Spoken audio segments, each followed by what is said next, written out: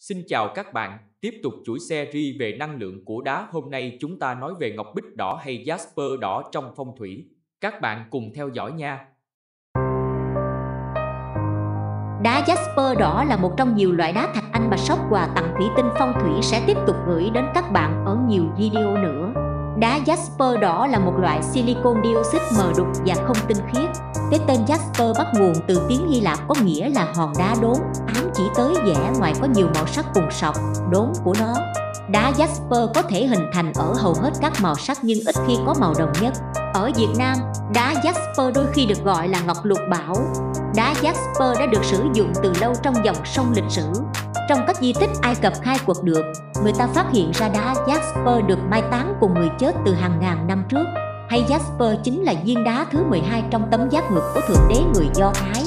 Với sức khỏe thì đá Jasper được ứng dụng trong điều trị rối loạn tiêu hóa và đường tiết điệu, cân bằng các chất khoáng, giúp cơ thể hài hòa, khỏe khoắn.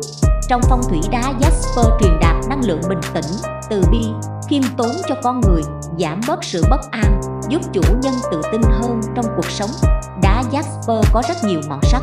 Hiện nay, người ta chuộng nhất là đá Jasper đỏ, còn gọi là ngọc bích đỏ. Loại này phù hợp với người mệnh hỏa và mệnh thổ. Đá Jasper thô bền, khá cứng, chống hao mòn cao, phù hợp với hầu hết với các loại thiết kế có thể tưởng tượng được. Nó có thể được chế tác thành mặt dây chuyền, mặt nhẫn, vòng tay.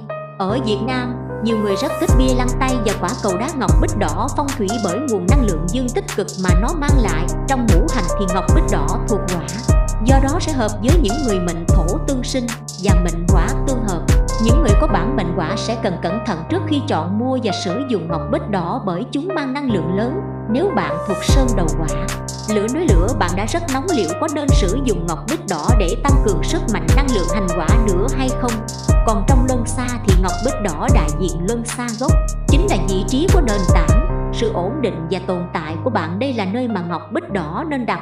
Chúng ta được sinh ra trên thế giới này với một nền tảng vững chắc, nhưng khi cuộc sống tiến triển, chúng ta gặp phải những trải nghiệm khiến chúng ta cảm thấy chông chênh và không ổn định. Cân bằng luân xa gốc là chìa khóa để xây dựng nền tảng cho sức khỏe, sức sống và sự an toàn. Do ngọc bích đỏ hấp thụ những năng lượng, cảm xúc tiêu cực của con người nên theo định kỳ, nó cũng cần nạp năng lượng cho đá. Có hai cách đơn giản để tịnh hóa là với ngọc bích đỏ dưới ánh trăng trong một giờ đêm trăng rằm hoặc chôn ngọc bích đỏ xuống đất của một gốc cây xanh tươi tốt trong vòng vài giờ. Chỉ cần làm như vậy khoảng 6 tháng một lần thôi là bạn đã tịnh hóa và nạp lại năng lượng cho ngọc bích đỏ của mình rồi. Đến đây các bạn đã sẵn sàng cho việc mua một viên đá hay quả cầu Jasper đỏ chưa?